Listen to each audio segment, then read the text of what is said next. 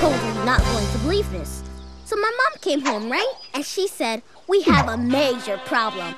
So I asked, What do you mean, Mom? And she yelled, You know what I mean, Kate! The leak in the bathroom! Then I whispered, Billy, you are in such big trouble. Billy's my little brother. I told Mom I didn't take a bath today, so Mom asked, Who took a bath? And I said, Billy totally must have taken a bath because I didn't take a bath. Billy, what do you have to say for yourself? I say, hold up your left hand. Uh oh. I'm in so much trouble.